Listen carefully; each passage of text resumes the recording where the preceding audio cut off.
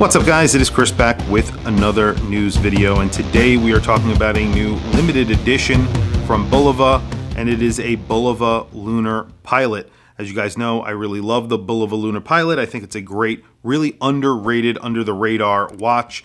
Uh, and this is a new limited edition that they're doing in grade 5 titanium, stainless steel, and PVD coated gold. So it looks really interesting as well. This is to celebrate the 50th anniversary of Apollo 15 and the lunar landing. They're doing a special commemorative back on this watch. There's special packaging as well with a commemorative coin um, and a book that is dedicated to the detailing of the mission and its success of Apollo 15 and the lunar landing. It's a limited edition of just 5,000 watches, and I say 5,000 watches. For Bulova, that's actually pretty limited.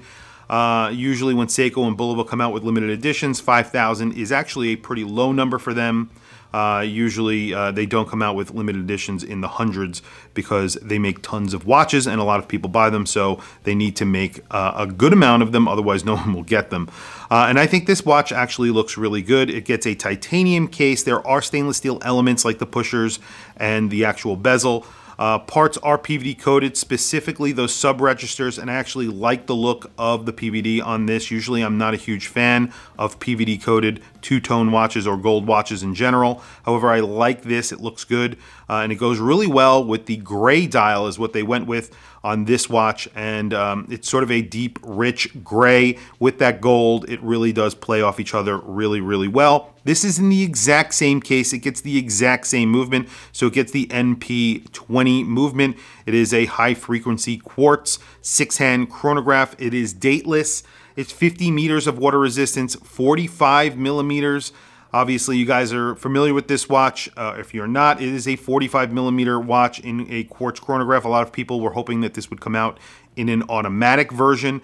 I think this is a step in that direction, I hope, because they're looking to charge a lot more money for this because it is in grade 5 titanium. So if these sell, perhaps they will investigate doing an automatic or hand wound version, maybe something a little bit smaller. That would be absolutely awesome. 13.5 uh, millimeters thick. And again, if you are familiar with the watch, it has a very high sort of sapphire crystal. It's not a box sapphire crystal, it's just a raised sapphire crystal with an edge. So you do need to be careful with this watch. If you do chip it against something, it will chip that uh, sapphire crystal, but it does look good. It gives it that vintage look. And it is a flat sapphire crystal, so it doesn't reflect light very much. It's very legible. Uh, I think that's one of the things that I like about this watch a lot. Uh, not only the case and the design, but the way that they actually executed that sapphire crystal is one of the little details on this watch that's excellent. Um, this is coming in at $995. It is expensive. There are going to be 5,000 of them made. I'm sure these will end up on the gray market, and usually Bulova even discount their own limited editions on their website, and sometimes they offer up to 20 or 25% off. So definitely, if you like this watch, keep an eye out on their website. Uh, I definitely like this watch. I own the Bulova Lunar Pilot, the regular Bulova Lunar Pilot which is just their run-of-the-mill sort of non-special edition, non-limited edition. Um, they've made a couple of other special editions, uh, and I think this is the first really cool limited edition that they're coming out with of this watch. Uh, and I really like the two-tone on this, which normally I don't.